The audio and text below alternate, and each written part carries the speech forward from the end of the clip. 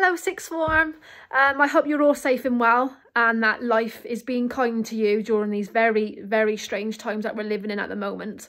Um, the reason I thought I'd put a message together is because I'm getting um, very similar questions coming through and I can't reply back to every single one of you. Um, so I thought I'd put a message together and then you've got it there as your reference.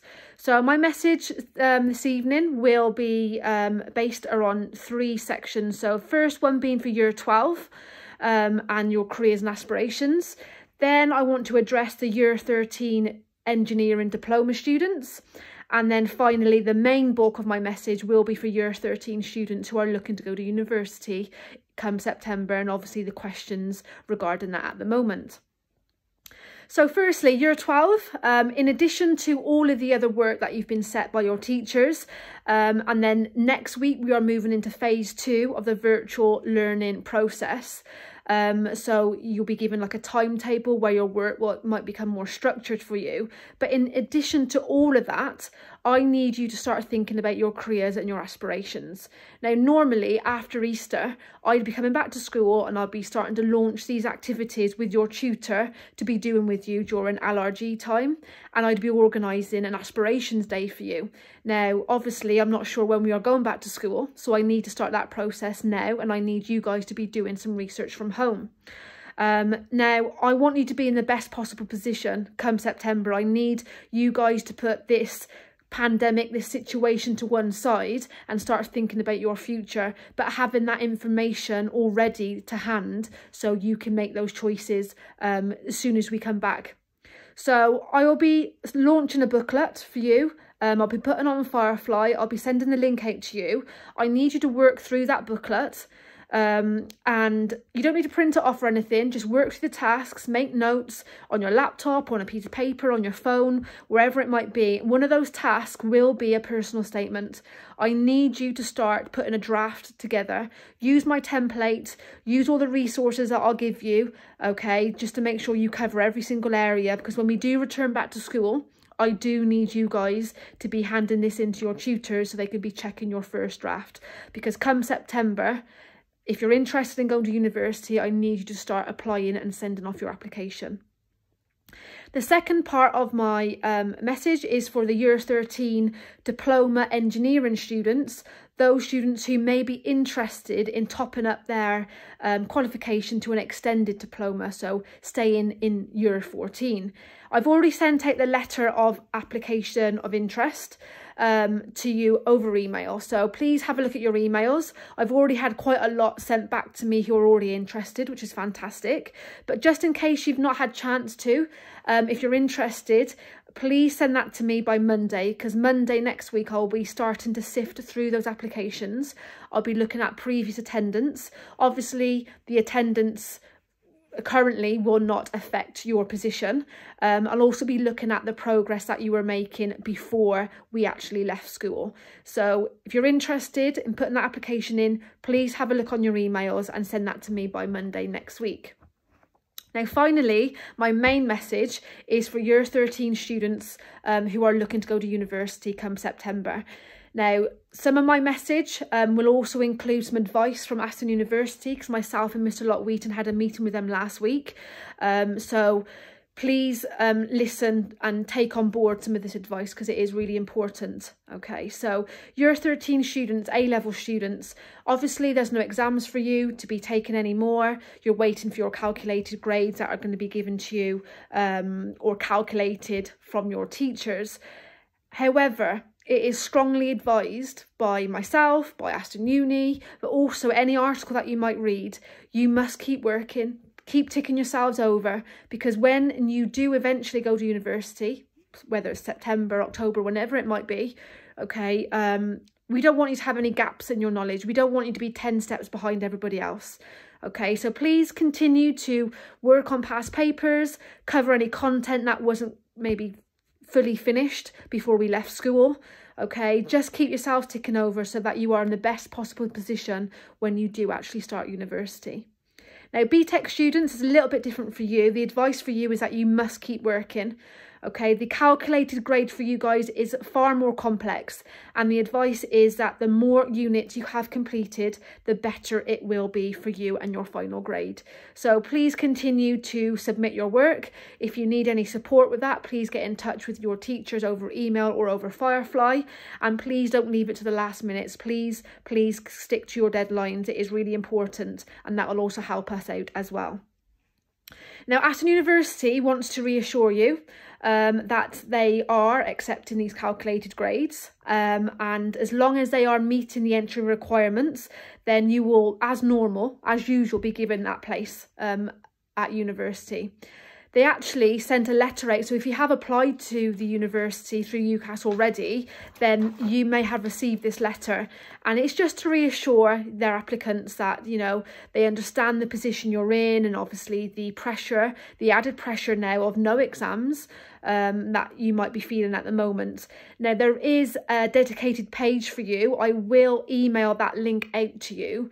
Um, and it is a, like a frequently asked question page, FAQ page, so a lot of you've all got the same questions. So please have a look at that page, have a look at the information they are, are telling you, and also have a look at their wellbeing page. So on top of the services that we provide, they're also giving you advice about how you can stay mentally strong and how to look after your well-being during these um, very challenging times that we're going through at the moment. Now, normally in UCAS, you would um, have to make your final choices um, by the 5th of May. They have now extended that to the 19th of May. So you've got like a two week extension um, in order for you to make these choices. So you've got to make a firm choice, which is your first choice university. And then you have to make an insurance choice, which is like your second choice of university. Now, the advice again from myself is that these decisions should follow the, the same process as normal, the same thought process as you would if this situation wasn't here at the moment. Okay, so there's a couple of points that I'm going to just um, ask you to think about before you make these choices. So first point is, are the entry requirements or are the conditions of the offer that you've been given, are they realistic? Okay, now I know, you know, you don't know your um, calculated grade, but you wouldn't have known your grade in the summer either before making this choice normally okay? So you need to base your choices on um on on where you were and where you were expecting to be at in the summer okay in your for your grades. You know that if you were working to to a grade d it is going to be very very unlikely you were going to achieve an a star um in the summer. So please think about your um, offer, okay, and make those choices wisely. My second point is, have you managed to visit the university, okay, or the city that you, that university is in? Now, no one knew to, no one knew what extent this was gonna be um, and what we were going to be faced with. So some of you may not have managed to do that, okay? So what I want you to do is just do a bit of research research that city, research that university, get as much information as you can, okay? Because I need you to make sure that it is the right place for you before you actually move up there or you move away, okay? So Aston University are actually offering um, applicant virtual visits, okay? So have a look on their website, see when they are launching them, um, but also look at other universities. They might they may be offering something similar. So just have a look because obviously everybody is trying to um, do is do do what they can for you guys at the moment. Just try and get as much information as possible. Now, finally, when you do make these firm choices and these insurance choices, it's important to note that universities will know the rank that you put them in. So if you make one choice a firm, that university will know they are first choice. Likewise, they will also know if they are also second choice. So if you put them as insurance, okay. Now, the advice, as always, from any university, okay, whether we're going through this situation or not, is that obviously universities want to see that commitment from you. And Aston University clearly said to me the other week that they will look more favourably on a student who will make their choice a firm choice over a um, insurance choice because you are showing them that commitment to them okay? Um so just just make sure that when you are making those choices that you are making those choices for the right reasons okay?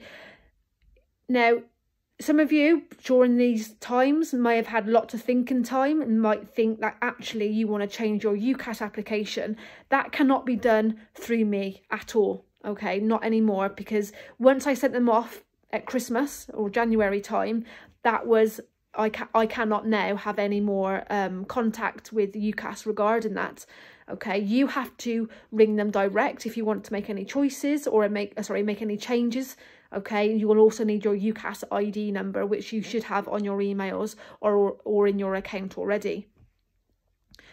Now once you have your grades and obviously you know um, what kind of position that you are in, almost like if it was like a resort stay, um, it is then very very difficult to make any choices or sorry make any changes that you might might want to do so for example last year um, one student in particular decided to make his choices um, slightly lower. He decided to put a firm choice into an offer that was probably lower than where he should have been anyway. But he felt like he didn't want to put any pressure on himself.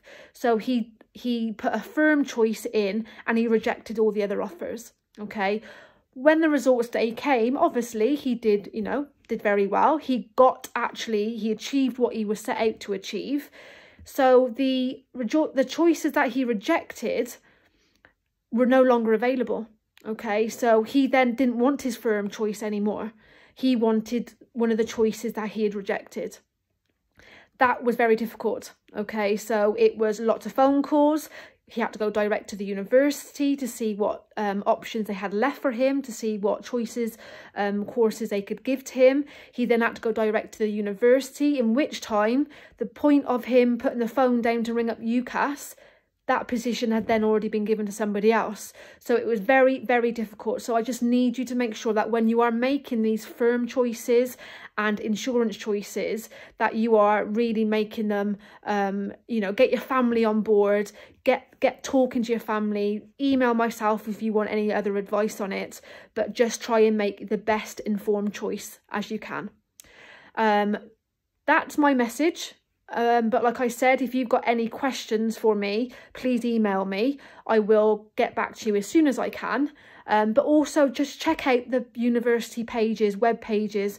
They've all got pages dedicated to applicants like yourselves. So go away, do a little bit of research. And if you've got any further questions, then but as always, just come back and email me and I'll, I'll give you as much information as I can. Anyway, I'd just like to make sure that you are all staying safe, stay indoors, support the NHS, etc. And I hope to see you soon.